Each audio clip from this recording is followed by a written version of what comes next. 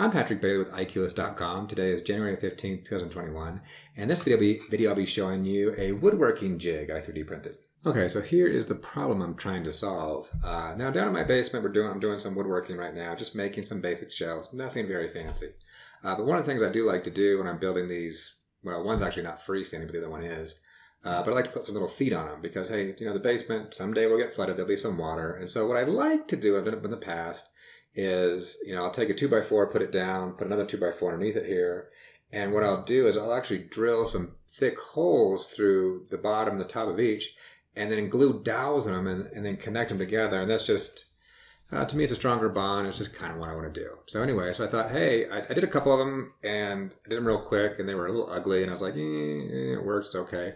Why don't I go 3D print a jig? Let me go figure out something in OpenSCAD and I can go design a jig and that way it could be a little modular and it can work and then I can, um, and I can do it. So I came up with a little thing. So, you know, so here, uh, well, I don't always show this, but I have a little, I always have a design book. And so I'll show this right now. Here's my design. So the idea, you can see these two by fours going down to this other two by four, and there's uh, little hole, there's little dowels be here and dowels here. So I need to drill some precise holes up there and down there.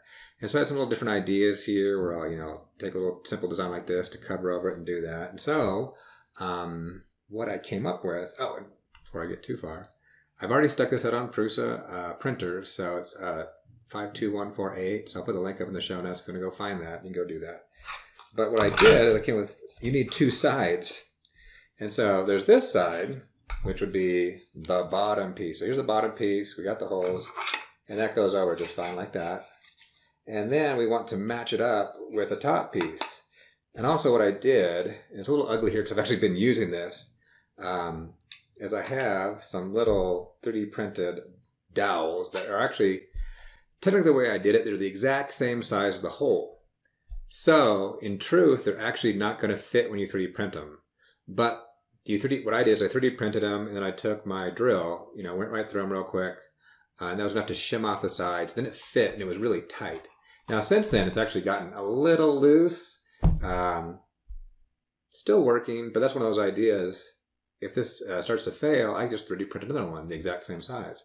But the reason I did that is so I could match them up precisely. So I can do that and then do that. So, boom. And also I made these, these extensions a little longer here and here so I can take a clamp and clamp it down. So I would do this, clamp it down, drill my holes, and hook it over here where I want, line it up just correctly, and then I would clamp this, take it off, and I have it in the right location. So now this is the right location that I want, pull these dowels out, and boom, I could drill. So that's the idea that kind of had, it actually worked pretty well. So uh, the few new shelves I put down using them have lined up kind of nicely. and It's actually a nice thing. Um, anyway, wood jigs, yay. Uh, but there's a lot more I want to go over it, but let me go over a couple other things. I actually did a wood jig video 2018. Wow, it's been almost uh, almost two years. Well, two years, two and a two and a bit, I guess. 2018, where I was still growing my beard out. So I did a jig back then, and so it's interesting work. I don't know, did I do an OpenSCAD back then? I didn't even bother looking before. Oh nope, I did it in um, in Fusion 360. So another good choice, but it is nicer. I don't say nicer it's a good idea if you're doing Fusion 360, depending on what how complex you're doing it. But if you're doing something that can be a simple jig, it's really nice to define it as code. That way I can change it real quick. So like here, uh, I'll have to look at my notes when I do the open OpenSCAD. I forget what the size hole is. Like let's say it's half an inch. But if you decide to go a smaller one, I could easily update the code and then boom, update this with that versus going to OpenSCAD. There are ways to make your life easier in Fusion. I said OpenSCAD. There are ways to make your life easier in Fusion 360, but still, for something like this where it's kind of clear cut and very simple design, very square, I think OpenSCAD is a good way to go. Now, before I go into more of it, let me go over the numbers. Now, this video, oh, wish I had more time to do more stuff. This video is actually a video of a different size because I had a lot of tests. So this video is actually, here's this guy that goes this way. I made another one that goes that way. So I kind of videoed the wrong one. But the numbers should be the only I did with my numbers. I did weigh this one. I did weigh the, the correct one that I'm using, uh, but the time might be a little different if you printed out the exact ones I'm doing. But anyway, let's go over the numbers I have for somewhat the wrong one. Uh, total time it took 10 hours and 0 minutes. It took 8.2 cents of electricity, and it weighs 0.1 kilograms. The real one weighs, weighs 0.1 kilograms. And at $20 per kilogram, that comes out to $2 for material. So total cost was $2.09. So the only difference in my calculations might be the time. So this is bigger than this.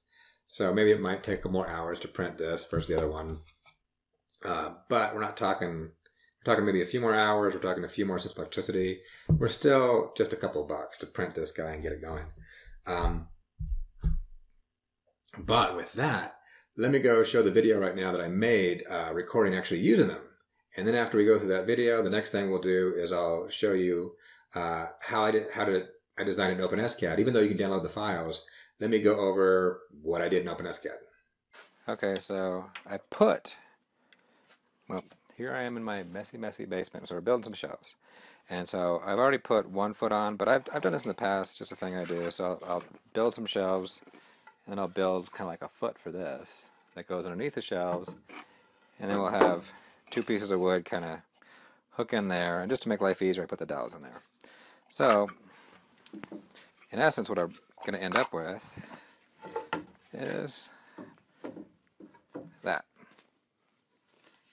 So, I'm not going to go in great detail, but here's, I'm not going to do every little piece, but here's the pieces I printed out. So, there's the piece that goes over.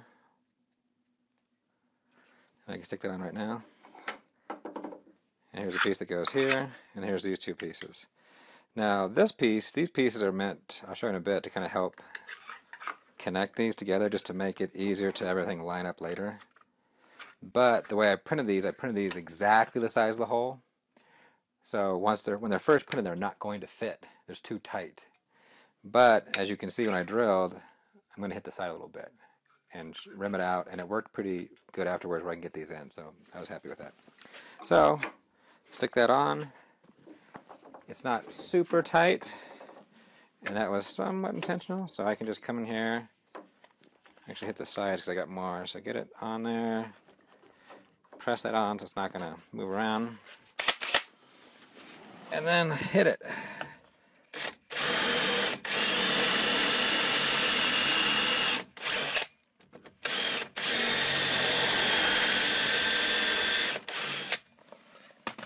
Should wear safety glasses, right?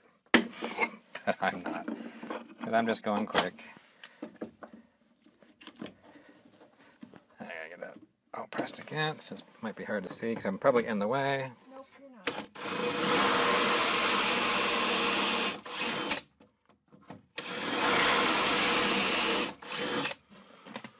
Now, I already just a few minutes ago. And I'll have to say, compared to what I did earlier, I have another shelf I built a week or two ago. And I just did it, kind of lined it up by hand and kind of did it. Um, this is actually, it's a lot more, the precision is making it much easier to kind of smack it in than what I thought. So it actually, yeah, this, this is just better. Okay, so now I want this to go over this, but I also want to line it up. So when I, that's a, that's a nice thing about 3D printing is you get so precise. So this width is exactly matching this width. And also these, oh, right there, well actually both are. And the holes line up so perfectly.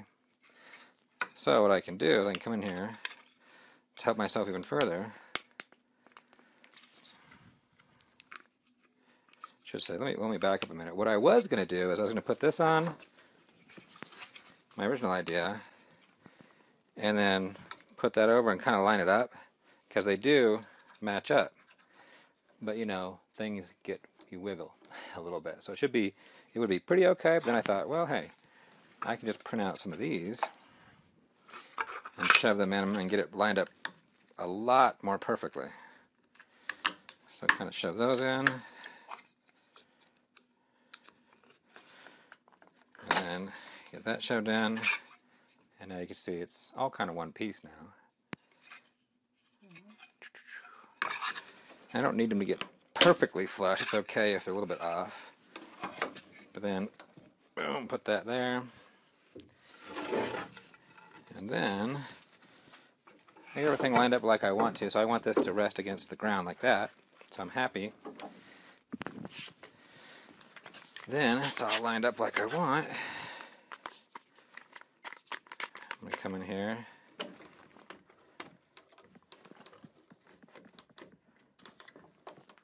Make sure it's where I want it. Grip that down. and I can pop that off. And then I can, I know. Turned out you married a husband who's smart on some days, right? You got your moment.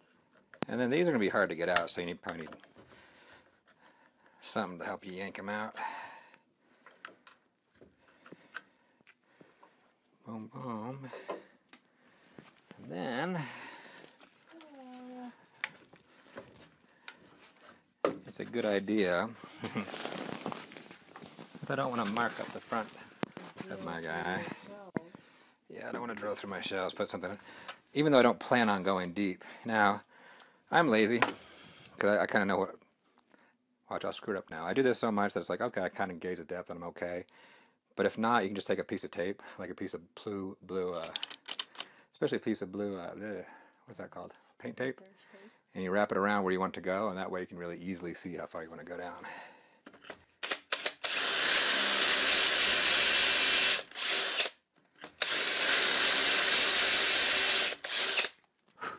Now I'll come back and adjust this some more. That's all I intended to film for this. Uh, but you can see I've already used this one twice over on this leg, and now I'm using it twice. And you're, you're probably going to mess it up over time. That's okay. It's a 3D printed part. It's dirt cheap, right? Um, and this is, I don't know how many shelves is good for, but it'll probably do, I don't know, maybe six or seven shelves without really doing much damage, depending on much you do. But also the nice thing is if once I get this, if I like this and I want to use it again in the future and I destroy this, I push a button, I print out the exact same thing again. Or what would be really interesting, I'm I'm into woodworking. I like some woodworking, but I like I don't have a woodworking channel. But if you're a woodworking channel guy or something like that, and you are trying to and you use jigs, it would be a cool thing to say, oh hey guys, here's how you do this thing, and here's the jigs you can 3D print out to make what I make, and then they're got the exact same things you do. So there's a cool potential for that, which I'm sure someone's already doing. But it would be a, a cool thing. So there we go. That one's done. And then after that, well, I don't know if I showed. I did not show this. But these, you know, for those who are not where, if I didn't make it clear what I'm doing, these pegs go in. So the pegs go in, pegs go in there, smash, put some glue in there, of course, before I do, smash it all together. And I'm also coming through and putting some screws after the fact to make sure it's really nice and tight. So that was the entire idea. So there you go. Okay, I went down and grabbed the drill, which is a half inch drill, which is the one I've been using in this particular case. So with that, let me recreate what I did in OpenSCAD. Now, if you happen to go look at the OpenSCAD files, I actually have a file per jig, so I don't make them too modular, so you can actually download each one and recreate it if you want.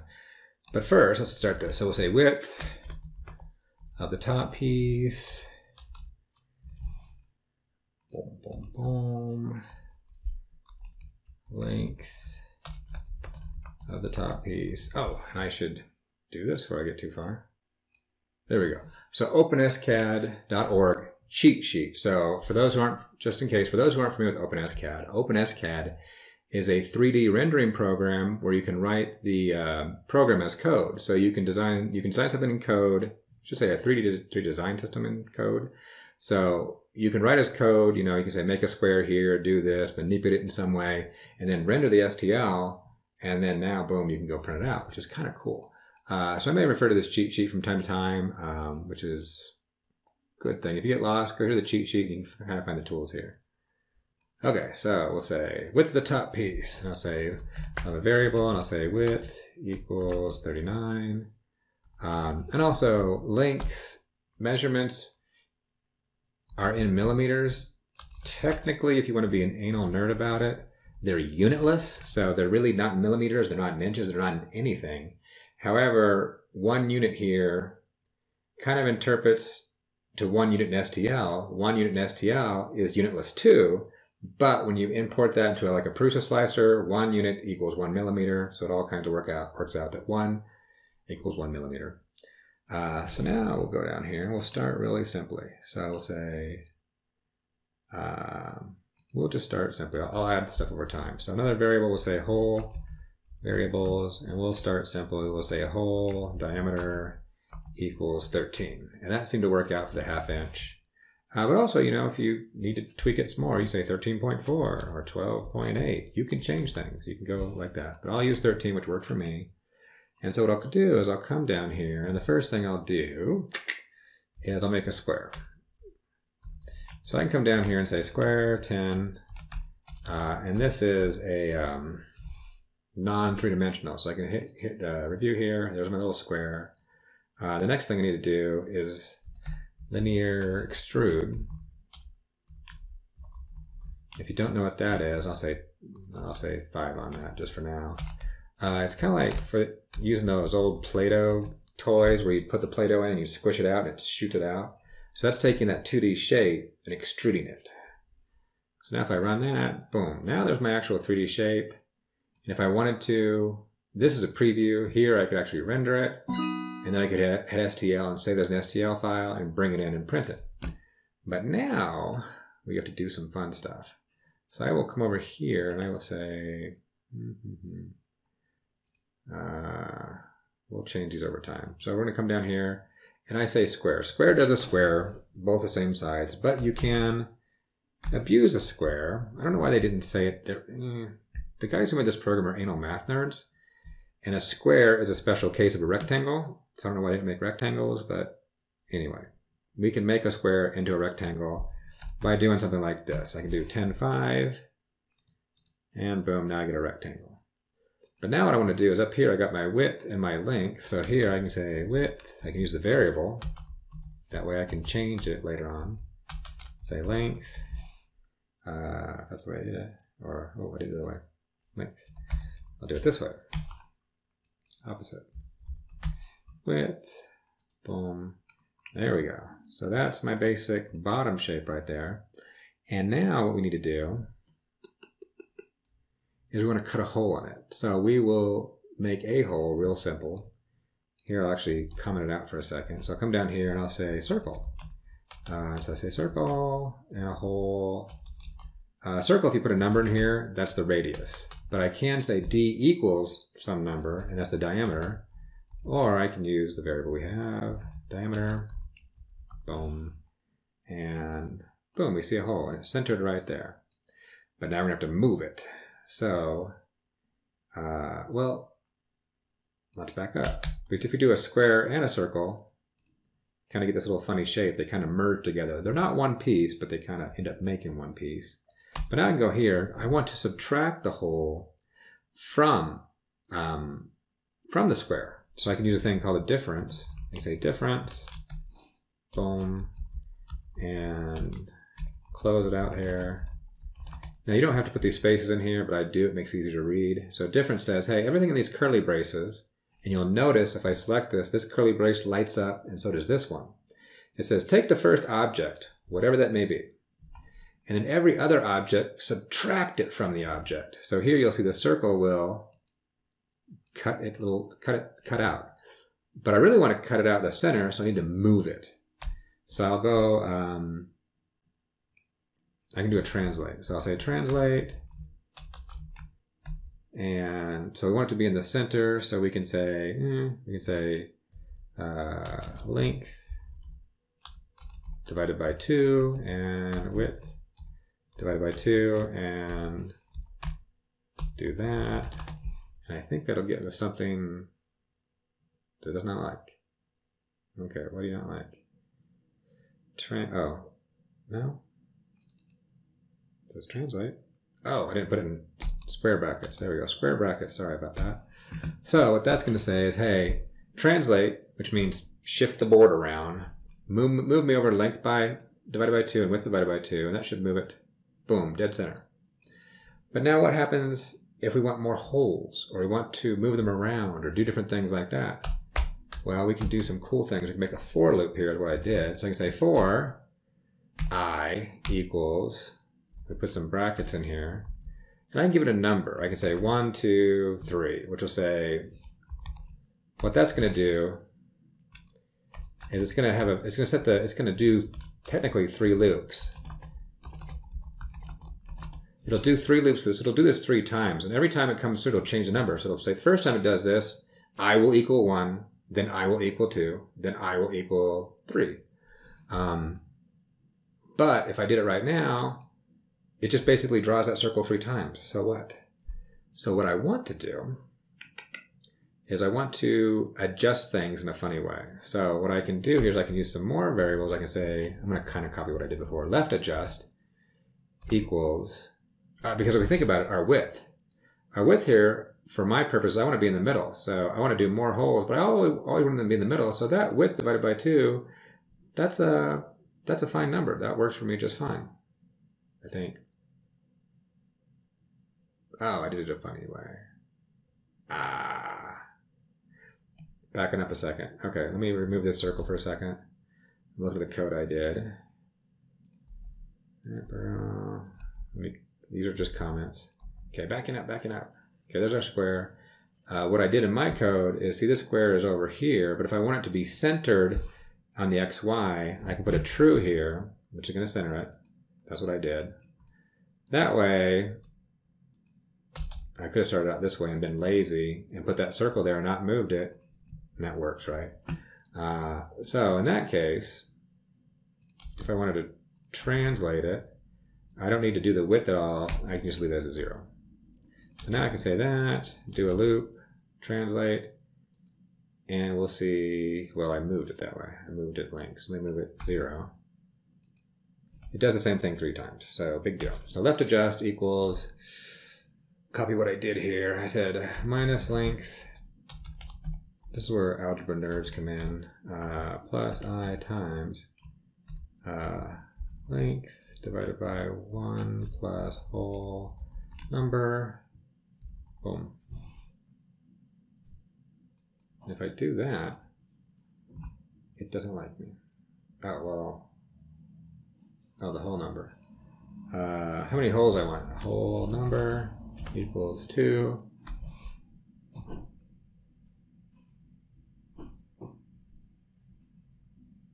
Ah, there we go. And run that. Did not like that. Why?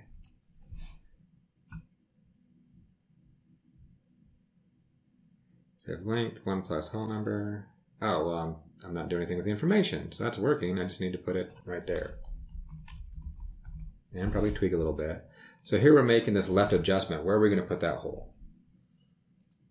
And boom, now we got 3. So what I'm really doing is saying, hey, I started here at the 0. So let me go all the way to the edge here, which would be length divided by 2. So let me go minus length plus, minus 2.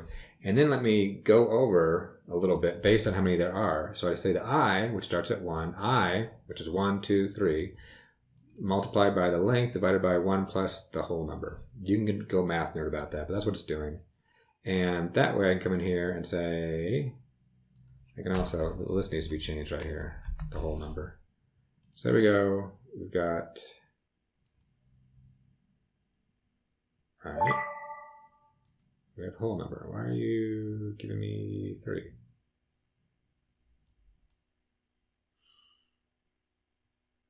Oh, because I put it there. Oh, sorry. Two. I'm looking at my other code. Two. So there's two holes. The nice thing is if you do something like this where you put some variables in here, I can say, you know what? I really want four holes and I want a diameter of nine.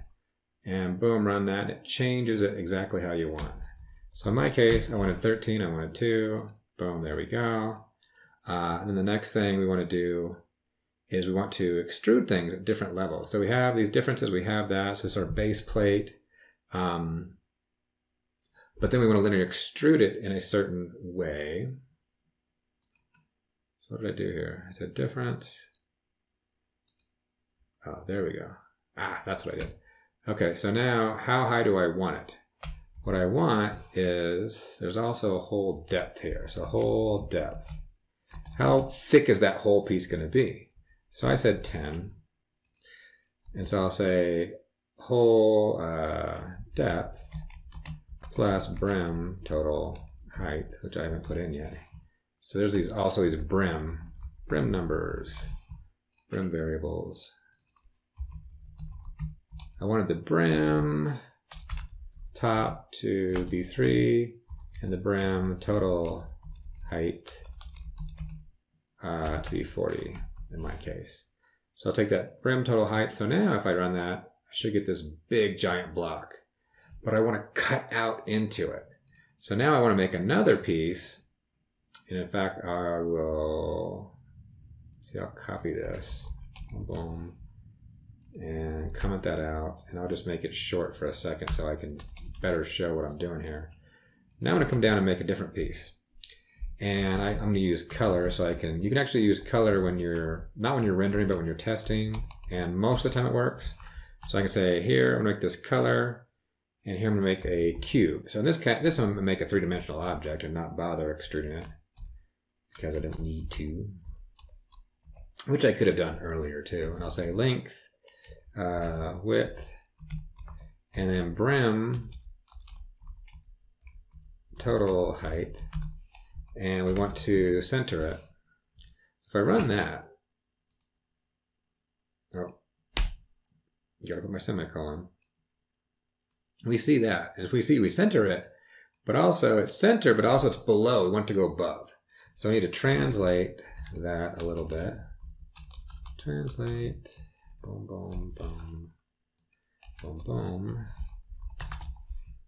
And I can do X, Y, Z. I can move those in those 3D planes. X, I don't need to move. Y, I don't need to move.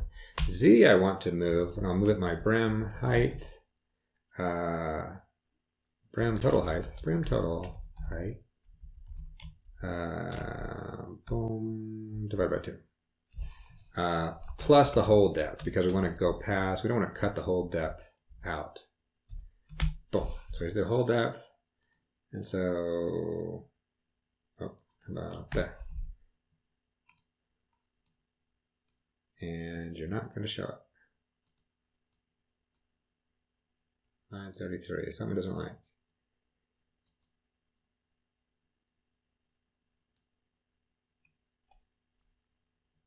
Uh, hmm. Total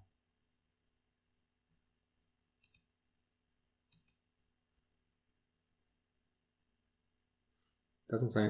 Oh, how about trans? Ah. But I spell translate right? Translate. Boom. So there is exactly where that would be. Now, if I subtracted both of them, we'd see. If I had the big one and subtracted that, we'd end up with what we have for yellow here. But what I want to do is I want to make this uh, red one smaller on the inside. So what I'm going to do is we have that uh, brim, let's see, width, brim height, we want to shrink it. Oh, we want to increase the size on that. Okay, what I did is I left this like this.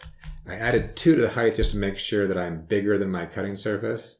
I want to make sure I'm okay with that. Um, uh, which in fact cut the other one off. Okay, that's okay. But now I want to go back to my original square and I want to make it bigger. So I have a length, uh, plus two, I mean, two times brim top, because I want to have a brim to it. So I'll, I'll add a little brim to the top. Plus two times brim top. And that should give me something like that. Boom, perfect. There we go. So now, if I make this full height, which I will here, I'll take that back out, take that out, run it.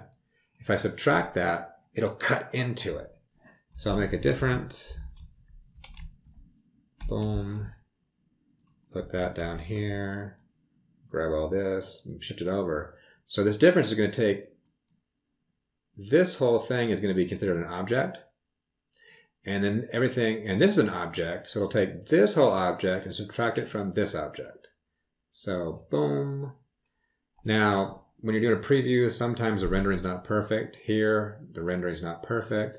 So now we need to hit the, um, the actual render rather than the preview. And boom, we got our box. So that's kind of how you can do it in OpenSCAD. So fun, fun, fun. A really good, this is a really good, uh, writing a good program. I'm saying you could do it better, but this is a good thing you could probably do in OpenSCAD because then you could uh, more easily add more holes, move them or tweak them or change them. So this is probably a good way to make jigs. And it worked for me. So anyway, there you go. Hope that was helpful to someone out there. It's a new year. And my prayer for everyone is that this year is better is a better year for you and yours than 2020 was. Up next, for those who follow me on Instagram, you may have seen a photo of some Prusa Mini parts. Well, I kinda have a broken Prusa Mini. Not too bad, but the next video will show me. I got the parts together, so next video will be me going over fixing it. So it should be a good video. Um, check it out when I post it.